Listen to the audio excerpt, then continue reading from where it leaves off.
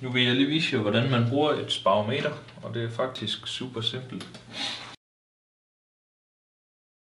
I stikkontakten, tænd for stikkontakten, og i med det pågældende apparat, du skal lave en måling på.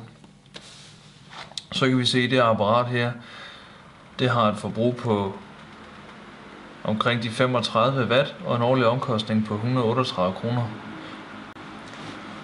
Der er nogle forskellige grundindstillinger, som du kan gå ind og ændre på. Der er blandt andet de forskellige målinger, som du laver. Den øh, er standard sat til et døgn. Den kan sættes til nogle andre målinger. Hvis du vil ændre det, så trykker du på start-stop-knappen og time-knappen samtidig. Her kan vi se, at den er sat til et døgn. Hvis du ønsker at ændre det, så kommer den op på 7 døgn, 30 døgn og den sidste indstilling 0, det vil sige, at du selv vælger start og stop på din måling. Når du vil tilbage igen, trykker du på start, stop og time knappen, og du er tilbage igen. Så kan du gå ind og indstille, hvor mange øre per kilowatt-timer det koster i dit pågældende område.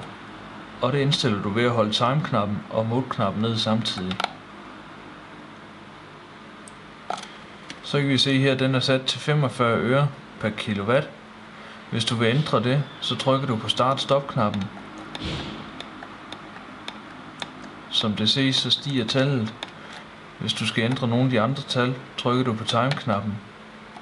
Og så kan du ændre de andre tal derhen af. Apparatet kan også måle antal gram CO2 per kilowatt, og for at ændre det, så trykker du en gang mere på time og mode knappen, holder ned samtidig. Så kan du se her, den er sat 378 gram per kilowatt-time.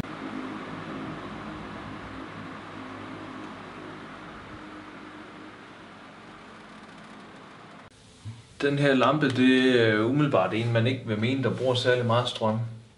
Men øh, hvis vi nu prøver at kigge efter en gang, og prøver at tænde, der er to øh, funktioner.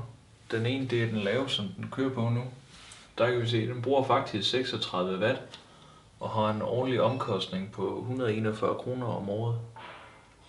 Hvis vi så kører den op på den høje, for dem, der skal kunne se, hvad de læser, Nej, hvor blev det lige pludselig dyrt. 51 watt og 200 kroner på et år, det er jo fuldstændig sindssygt. Vi skal se, at jeg har skiftet nogle pærer til LED. Så sparometeret, det er faktisk rigtig smart, og øh, hvis du har lyst, så kan du låne det fra Klimaværket i 14 dage ved at gå ind på øh, følgende kontakt, og øh, så kan du få lov til at låne det i 14 dage og se, hvor mange penge du kan spare.